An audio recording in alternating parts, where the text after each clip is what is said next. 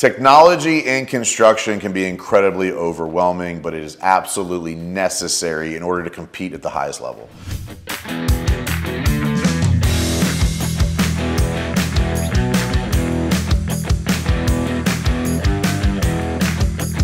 You're trying to overcome the challenges of the of 2024 and 2025 and you're trying to figure out like why is my competition beating me to customers? Why are they getting more projects? Why do they keep getting new trucks? Why are they growing and i'm not? It's likely due to efficiency generated by technology. So there's two types of technology. There's software and hardware. So I'm going to go through each department of most companies, which is sales, marketing, operations, production, and finance.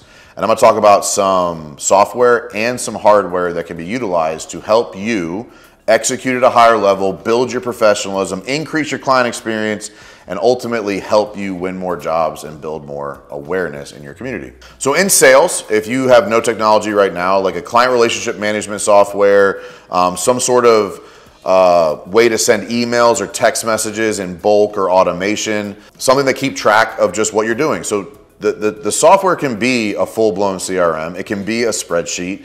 It can be something digital. I would, I would evolve beyond writing things down. Like at this point, if you're still writing things in a notebook as your primary source, like you're just behind, you're slow, you're inefficient, and you're not gonna be able to automate any of that. So from a software perspective, look into a CRM, client relationship management tool, or just you know, an overall construction management platform, which we're going to talk a little bit more here in a second. I also did a video, if you haven't seen it yet, you know, what the heck is the difference between a CRM and a project management tool? If you want to go deeper into that, there's another video. Um, I'll challenge my team. They want to put it right here into this video. Click right here. We'll see. If there's a video there, they did their job. If they didn't, let me know. Comment below if if you don't see a video pop up there but overall, like figuring out what that technology is. The hardware, there's there's three things that I really like from a hardware on the sales side. One is an iPad or laptop. I think it's incredibly important that you can you can create proposals, handle the communication, work in your truck while you're in the field. You have to come like when I got my entire team laptops or iPads and they did not have to come back to the office to fill things out. It created an extreme amount of efficiency. And so, second would be some form of like measurement tool. Like I used a laser measurer, like that little technology can saves time, creates consistency, creates accuracy. So a laser measuring tool, maybe you're using a, a software measuring tool if you're in the roofing space, like you know EagleView or the other. There's a lot of newer ones. I used EagleView when I was doing roofing, um, but some form of a digital or software-based measurement tool. Um, it creates just way more efficiency than a tape measure. Like if you're still, if you're doing sales and you're a flooring company and you're still going around with a tape measure, measuring every room on, for a proposal, you're just not as efficient as the guy next door using a laser tool, getting it measured quickly and getting a proposal very quickly. So something like that can create a lot of, a lot of efficiency. And then there's 3D mapping hardware where you can put it in the room and it maps the whole thing. That can be really, really valuable for like high-end remodeling, kitchens, bathrooms, whole home remodeling you know, probably not as valuable. They're very expensive pieces of equipment, like tens of thousands of dollars. But if your average project is $250,000 and you're doing massive kitchen remodels, that 3D mapping tool can help with quoting, it can help with design, it can help with, with takeoffs, it can do a lot of value from that. So looking at that software and hardware combination in the in the sales process can create professionalism, it can increase client experience, can increase accuracy on the front end. Like if you deal with your production team constantly pissed off because the sales team mixed something, like mismeasured something, got something wrong. You know, finding technology, both hardware and software, to create efficiencies and accuracy, and then building some form of a CRM into your process from a software perspective to keep up with clients, keep up with leads, keep up with notes, keep up with clients through the journey. Very, very impactful. From a marketing perspective, there are a ton of applications out there I'm not as familiar with. I have historically not been an in the weeds marketing guy. You know, I use the social media platforms, I use YouTube, and like most of these platforms have a dashboard. So if you are currently utilizing YouTube or social media and you don't have a business profile, get it set up as a business profile and then use the dashboard for the analytics of understanding what is and is not working. You know, if you're not doing that, I'm not going to say AI. Like ChatGPT can be a great tool to give guidance, but I think too many people use it as just like copy and paste. So I'm not going to lead you in that direction. But overall, having some way to measure, schedule, and hold yourself accountable to some form of marketing content distribution. If you're using Google My Business, that's another great dashboard technology. Um, if you have all these things in place, you've never even looked at the, the data, if you've never looked at the analytics, start there. Most of these big level, high level uh, services like social media, like Google, like YouTube, um, they have back end dashboards that give you a lot of data. So a technology might already be there that you're just not utilizing on the marketing side. If you're currently utilizing a marketing agency, have them send you those reports. Ask them for some of the back end. If they're not providing that, I'm not judging marketing companies, but not all marketing companies are created equally.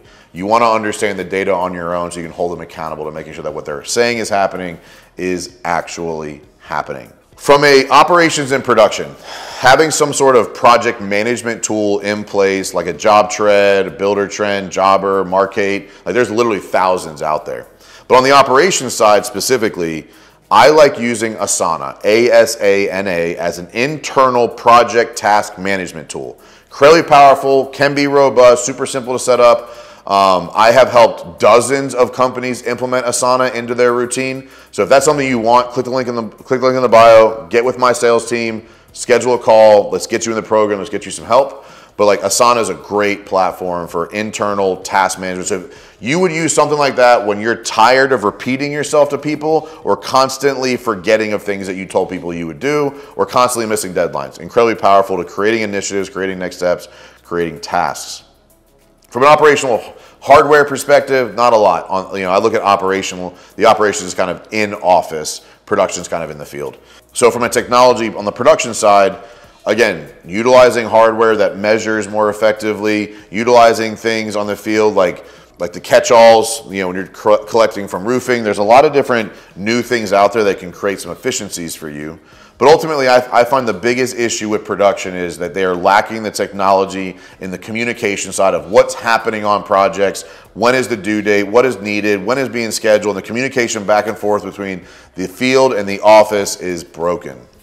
So getting some sort of a dispatch program could be beneficial to you, depending on the industry you're in. Getting some sort of like, again, JobTread, Buildertrend, things like that. Go look into them. There's a ton out there.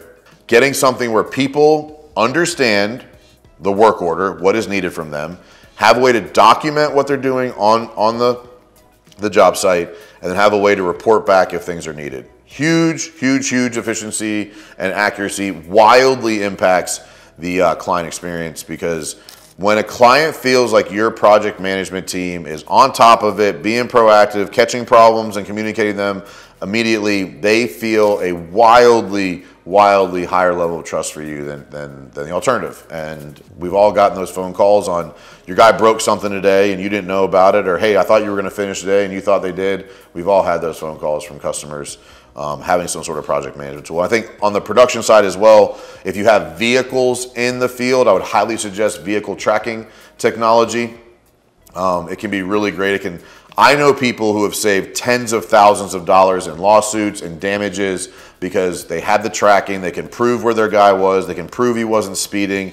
They can prove like there's huge technology in that or advancement in that technology to allow you to really, really alleviate a lot of risk associated with having your company vehicles on the road. Um, and a lot of insurance companies also provide discounts if you are tracking your vehicles um, for your team. So you can look into that as well. On the finance side, like QuickBooks Online, like QuickBooks Online, I, don't know a better one out there. I don't like, sometimes people try to finagle this and like they say QuickBooks doesn't work for them. Cool. Huge number of businesses out there use QuickBooks Online. If you're using QuickBooks Desktop, I would suggest you go through the challenge, or at least the perceived challenge of transition to QuickBooks Online, because if you are on QuickBooks Desktop and that computer breaks, gets lost, gets stolen, it's gone. It's just gone. So I would highly suggest going to QuickBooks Online um, as a technology advancement on the finance side. Look, overall, I just you know quickly rattled off dozens of different things you could be doing. If you don't know what to do next, you don't know where to start, you don't know which technology or advancement you should implement, in what order, click the link below. Like schedule a call with my team. Let us give you 30 minutes of free counsel, free coaching, free mentorship to help you figure out what is first, what is next, and what will make the biggest impact on your company. Look, our goal at Winrate is to help you win fast and win often.